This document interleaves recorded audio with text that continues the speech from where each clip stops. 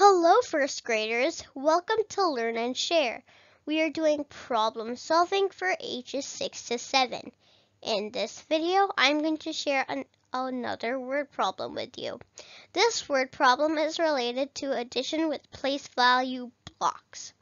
I will also give you the tips for making your own word problems. So let's get started. Problem 2. Gary had two tenth blocks and three ones blocks. He added two tens blocks. What number is he showing? Do you want to try it yourself? Feel free to pause the video and try it yourself. Do you want to see how I solved it? I solved it in a step-by-step -step way. Let's see it. Gary had two tens blocks and three ones blocks.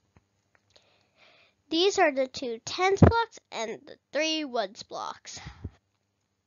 He added two tens blocks. Here comes the two ten blocks. What number is he showing?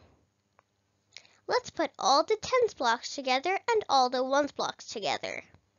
So we get four tens and three ones.